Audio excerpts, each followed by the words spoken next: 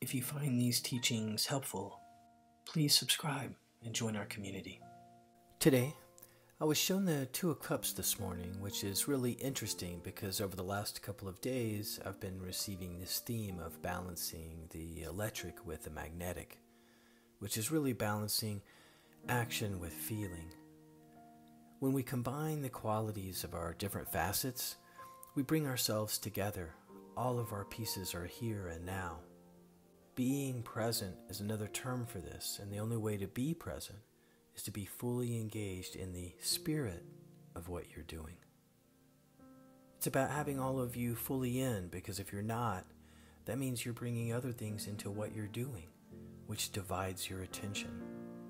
Remember, a divided you equals imbalance.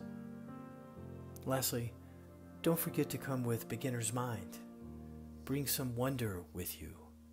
It's a crucial part to using all of your experience and expertise in new ways.